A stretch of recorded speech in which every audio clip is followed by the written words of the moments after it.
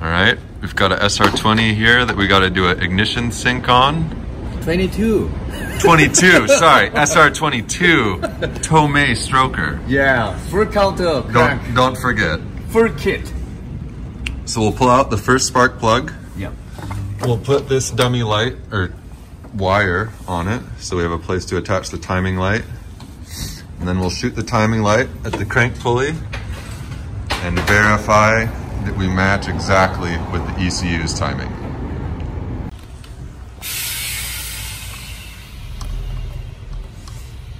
Putting the plug wire onto the number one plug Yeah.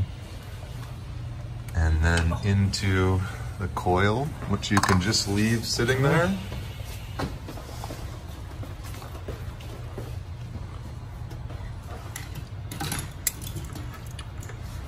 Like so.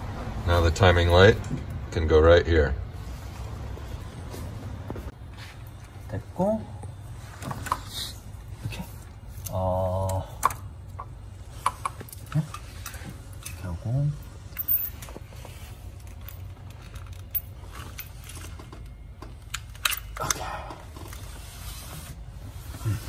Take caution that when you put the clamp on, you make sure the arrow points towards the spark plug. Don't put it on backwards. 됐어.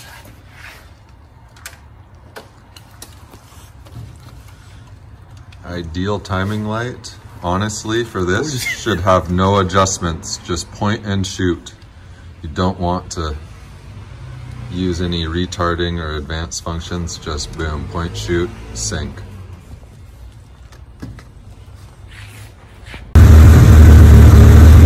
All right, once you're connected to the ECU and you got the engine either started or not, you can do this just by cranking, but this car already runs, so we'll demonstrate it with the car idling.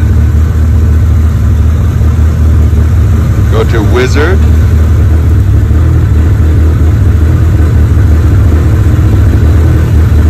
Setup Wizard.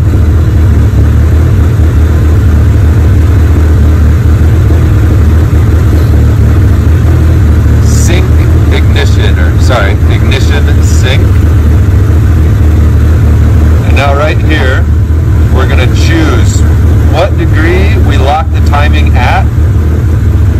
I know this crank pulley has a mark at 20 degrees, so we're gonna lock it at 20 by typing in 20 there, and then checking this lock ignition timing.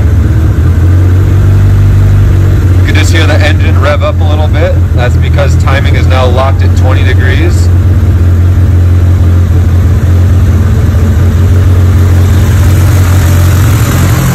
Come over here to the engine. Start shooting the timing light.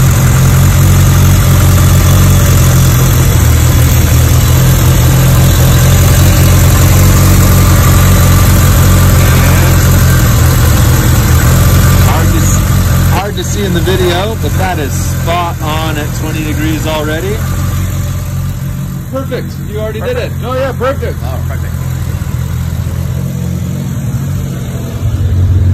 You confirm the timing is synced, you can go ahead and uncheck this box